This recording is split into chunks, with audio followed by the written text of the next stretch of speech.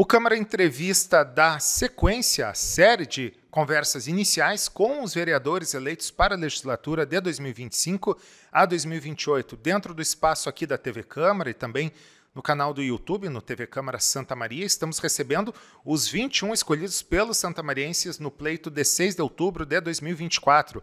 Agora nós temos a presença aqui do vereador Rudes Rodrigues, do MDB, vereador que fez uma expressiva votação, 3.796 votos, sendo o terceiro mais votado desta legislatura. E vereador, se em 2020 o senhor fez 2.175, o senhor conseguiu uma margem de mais de 1.600 eleitores que disseram sim, confirmaram o seu trabalho, certamente que é um reconhecimento também à sua atuação aqui na Casa Legislativa. Muito obrigado. Olá, muito obrigado pelo convite à TV Câmara.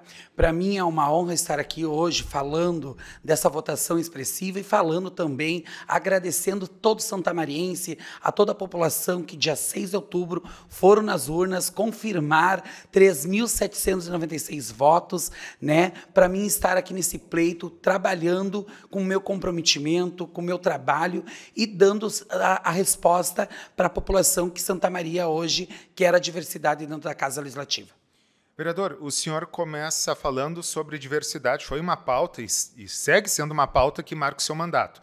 O senhor foi autor da lei municipal do mês da diversidade em Santa Maria, tanto é que isso propiciou com que haja um festival de vôlei, primeiro no interior do Rio Grande do Sul, no qual o senhor é apoiador, também é uma visibilidade não só ao esporte, mas também à comunidade LGBT. De que forma o senhor pretende ainda mais ampliar essa pauta, porque o senhor se tornou um sinônimo e uma referência também dessa pauta aqui na casa?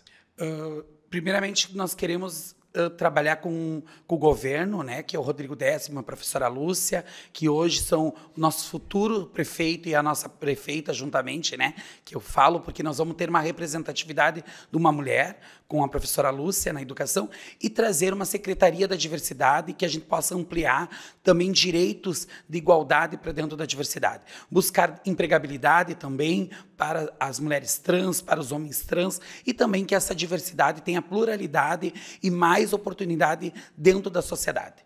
Vereador, o senhor também encampou a questão até de um aprimoramento, um melhoramento no ambulatório Transcender e também uh, um projeto do senhor que tramitou aqui na casa, que era o Vai Diversidade, se eu não estou enganado, que é justamente para qualificar e, e uh, proporcionar à comunidade LGBT que se insira no mercado de trabalho. São iniciativas que precisam certamente ter sequência e a ideia do senhor é que a prefeitura também dê esse respaldo com essa secretaria.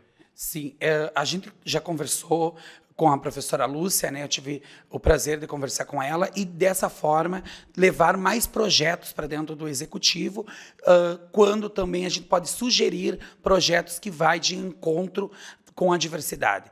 E também a gente tem um trabalho muito forte, que é a questão de hoje nós tirarmos mulheres trans da rua, né, através de algumas empresas privadas, que a gente conseguiu empregos para essas mulheres trans e que hoje elas não estão mais na rua necessitando desse trabalho na rua. Então, que a gente consiga Uh, oportunizar emprego, oportunizar saúde para todos, porque a gente sabe que é, é, de emergência essa situação para a nossa população.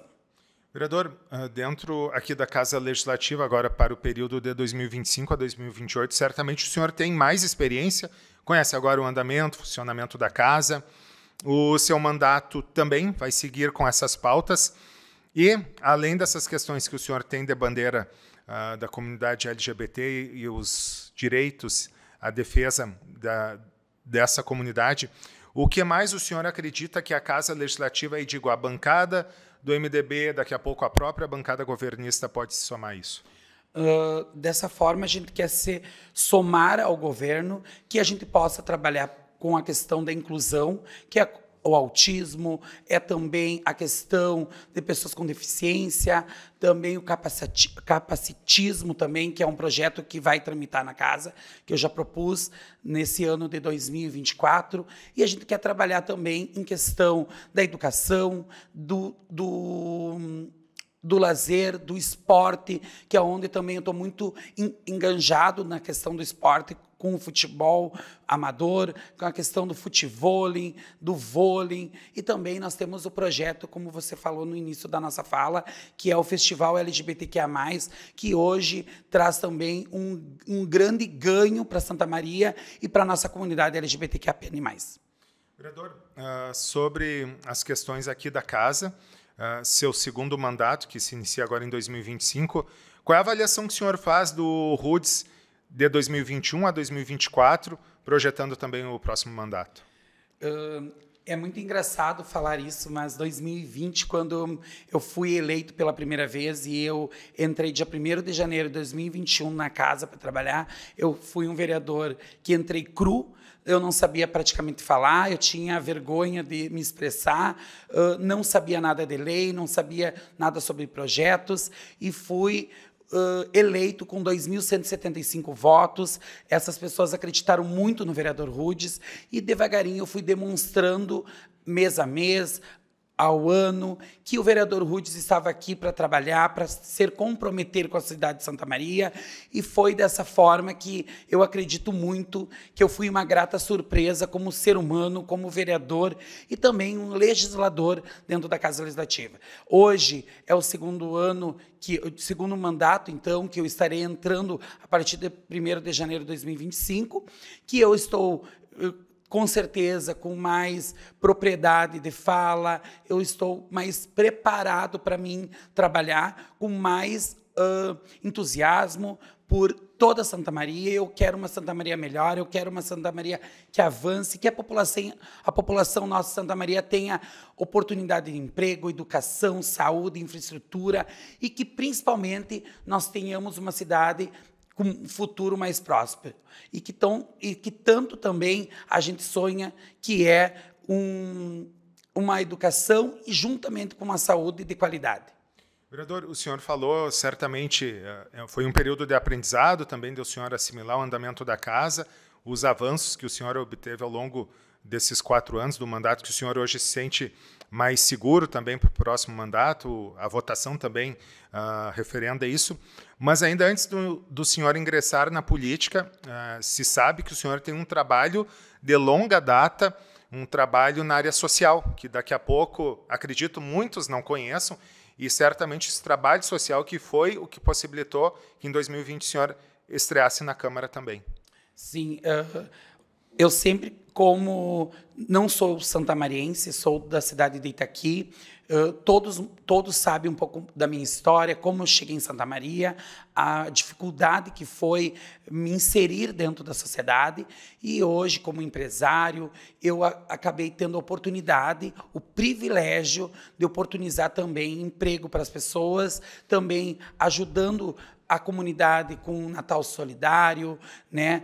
a questão da diversidade, apoiando muitas é, trans, pessoas que vinham de outra cidade, acolhendo dentro da minha casa, dando oportunidade de moradia e até mesmo a gente dividindo o prato de comida de cada dia. Então, é dessa forma que a gente vinha trabalhando. Nunca imaginei ser político, nunca imaginei estar hoje político, mas eu tenho certeza que tudo Deus prepara o melhor. Então, se foi dessa forma, hoje estou aqui em consideração ao povo e aqui eu quero agradecer muito todo santamarense que acreditam e que com certeza tem o maior orgulho de ter uma pessoa que nem eu dentro da Casa Legislativa. E eu me sinto muito orgulhoso de ter a oportunidade de ser privilegiado por ser quem eu sou hoje e a pessoa que eu me tornei dentro da sociedade.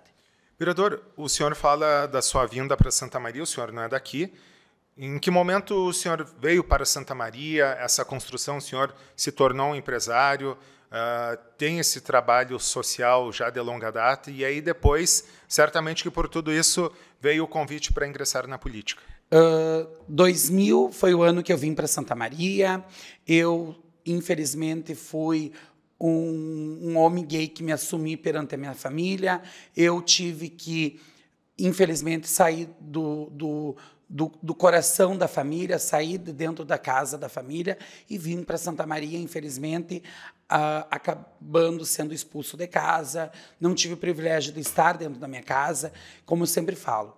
Eu passei pelas ruas de Santa Maria, pela Presidente Vargas, pela Medianeira, tive que me prostituir, muitas vezes dormi no vagão do trem, como eu já relatei muitas vezes na, na, na tribuna. Fui um vereador, fui uma pessoa que por dois anos acabei me prostituindo e tive a oportunidade, então, de trabalhar numa casa noturna, que era o Top Club, né, a Boate Top Club, onde eu trabalhei por nove anos com carteira assinada, fui garçom, e é onde eu tive a oportunidade de ser convidado para ser uh, proprietário de uma casa noturna, né?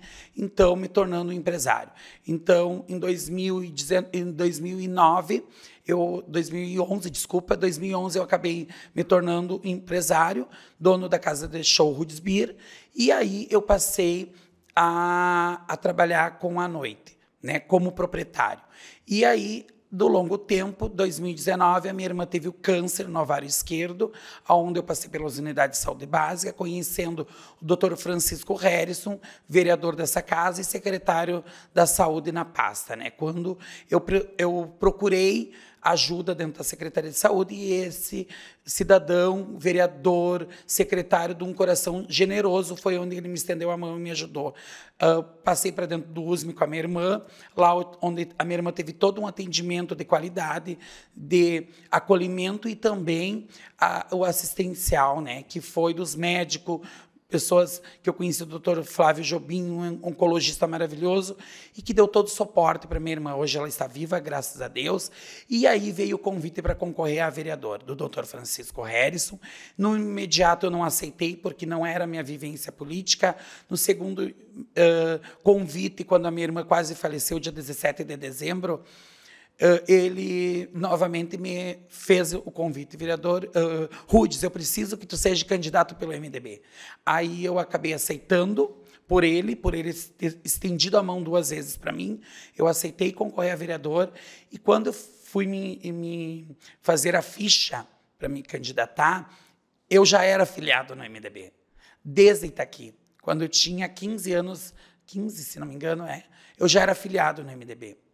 Então, que tinha uma juventude lá na cidade, então é, o prefeito da minha cidade de Itaqui era do MDB, Silas do Balgularte, aonde então foi uma coincidência que eu também já estava afiliado dentro do partido. E aí veio a, a grande surpresa, né? O vereador Rudes eleito com 2.175 votos, um homem gay e que assumido, um, um homem empresário, um homem que por muitos e muitos anos, a gente sabe que não teve uma pessoa assumida dentro da Casa Legislativa que dissesse: eu sou um homem gay. E que lutasse pelas pautas LGBT, porque a gente sabe que aqui nós temos a vereadora Luci, mas ela era sozinha como uma vereadora né, da, da, da bandeira LGBT. E hoje a gente temos a vereadora Marina Calegaro, a vereadora Luci e eu. Somos três vereadores que lutam incansavelmente pela bandeira LGBT. E também por todos, né? Certamente, vereador, o senhor passou, a sua ascensão foi muito rápida na política, obviamente, né? E o senhor tem aí uma, uma história de ingresso na política que é fruto também aí do seu trabalho pessoal, tem o um contexto pessoal que o senhor relatou aqui muito denso, muito difícil, e certamente também isso uh, faz com que agora a Casa Legislativa tenha muito mais atenção às pessoas, seu gabinete é muito procurado aqui, nós sabemos. Uh, o senhor tenta ser um, aquela pessoa, aquele vereador que dá respaldo a essas pessoas. Uh, essa, essa visibilidade que o senhor dá a essas pessoas passa pelo seu mandato. A ideia, como o senhor falou, agora é levar isso também à prefeitura. Sim. Uh, a gente recebe muitas pessoas dentro do gabinete, elas procuram, às vezes, a questão do emprego, ajuda para nós encaminharmos elas para uma Secretaria de Desenvolvimento Social, a Secretaria da Habitação. Então, nós, como temos a proximidade com o gabinete dentro das comunidades, ouvindo as comunidades, as reais necessidades que eles enfrentam, por eles se identificarem com o gabinete 16, que é do vereador Rudes, a gente hoje quer uh, aproximar essa população também com o executivo, tendo a oportunidade que o executivo vá até as comunidades, que a professora Lúcia, hoje como nossa vice-prefeita, que o Rodrigo Décimo, nosso prefeito eleito, né, para estar no mandato, hoje ele é vice, mas a, partir do dia 1 ele vai ser o prefeito, e que eles possam também estar dentro das comunidades, ouvindo essa comunidade, buscando ajudá-los de alguma forma na infraestrutura ou no encaminhamento de trabalho, uh, que a gente possa, pelo menos, buscar melhorias para todos e que a gente seja tanto aqui dentro da Casa Legislativa, vereadores e vereadoras que trabalhem por, pelas necessidades dessas pessoas. E que elas possam ter qualidade na educação, na creche, que elas possam ter um emprego, que elas possam ter uma saúde melhor, que elas possam sair das filas da saúde para fazer uma cirurgia, que a gente sabe que isso é tão importante quanto eles buscam muito isso, Marcelo, que eles muitas vezes ficam dois anos, três anos numa fila da saúde para fazer uma cirurgia. E isso é muito delicado, isso é muito complicado. Ver pessoas, às vezes, lá praticamente com dor, com sem dinheiro para comprar um remédio e essas pessoas numa fila por tanto tempo esperando né, para uma cirurgia ou até mesmo por uma, por uma saúde que elas buscam. Então, aqui eu quero me comprometer com todos. Eu sou um vereador que fui eleito uh, para trabalhar por Santa Maria luto pela bandeira LGBT, mas aqui eu quero reforçar: serei um vereador que trabalharei por todas as causas. O que eu puder fazer para salvar uma vida, eu farei. Para ajudar Santa Maria, eu farei. O senhor, além de ser um parlamentar, é o Rudes confirmadíssimo das redes sociais. A gente sabe que é um fenômeno a sua atuação no Instagram. O senhor utiliza essa ferramenta não só de forma muito bem humorada, mas principalmente também, acredito que é o ganho que o senhor tem com essa ferramenta de dar transparência à sua gestão, ao seu mandato aqui na Casa Legislativa, mas de forma muito morada. Tanto é que seus áudios eles correm os WhatsApp de todo mundo praticamente. Mas além dessa questão que é bem humorada, é leve, também é séria, lhe pergunto e lhe, na verdade lhe dou espaço. Um recado do senhor aos 3.796 eleitores que referendar um senhor aqui para mais um mandato e também aos santamarienses, o que podem esperar do Rudes confirmadíssimo? Confirmadíssimo, confirmadíssimo. Marcelo, primeiramente quero aqui agradecer a 3.796 pessoas, seres humanos de coração gigantesco, que foram lá e confirmaram no confirmadíssimo essa votação. Agradecer à juventude, agradecer às crianças, agradecer os pais, agradecer a todos, que sem vocês eu não teria essa votação. E também esperar do vereador Rudes, o confirmadíssimo das redes sociais, que hoje eu me tornei uma pessoa conhecidíssima em todo o estado, no Brasil. Né? Hoje no TikTok nós temos mais de 4 mil eh, visualizações, 4 milhões de visualizações. Hoje a Jade Picon chegou a quase um milhão. Né? Então nós temos vários atores, atrizes fazendo uh, brincadeiras com confirmadíssimo. E aqui eu quero que você, santamarense, saibam que vocês vão ter um vereador que vai trabalhar com o coração, com a dedicação, com o comprometimento, com a lealdade a Santa Maria. Tenho certeza que vocês vão ter orgulho, vocês vão ouvir falar muito do vereador Rudes. Serei novamente uma grata surpresa e mostrarei que, além de empresário, administrador, eu também vou fazer uma grande administração dentro da Casa Legislativa.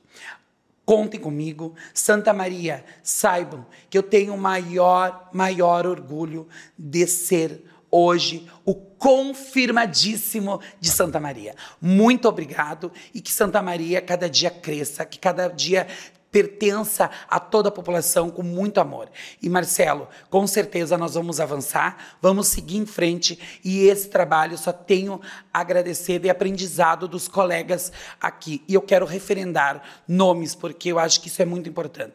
Assim como eu tenho um grande colega, Verne Hempel, que me ensinou, eu muitas vezes sentado naquela cadeira, não sabia muita coisa, e eu aprendi ouvindo o Dr. Verne Hempel. Tenho a maior admiração por colega como a vereadora Marina, vereador Tobias, vereador Pablo Pacheco, que é um grande amigo, e eu tenho o maior carinho por toda essa Casa Legislativa. Aos servidores que prestaram serviço nesse pleito, a todos os servidores da Casa Legislativa que me recebem e que me acolhem. Eu digo a vocês, eu sou uma pessoa muito bem acolhido e muito bem respeitado pela Casa Legislativa. E se não fosse, eu falaria também. Então, muito obrigado a vocês e que Deus abençoe o nosso novo pleito de 2025. Certamente. Confirmadíssimo. Confirmadíssima a nossa entrevista aqui com o vereador bem-humorado, trabalho sério referendado pelas urnas do parlamentar Ruth Rodrigues do MDB. Lembrando que o Câmara Entrevista Especial tem feito essa série de entrevistas com os 21 parlamentares eleitos e que tomarão aí posse no dia 1 de janeiro de 2025 e seguirão na casa aqui trabalhando até 31 de dezembro de 2028. Você segue acompanhando aqui no 18.2 e também no YouTube.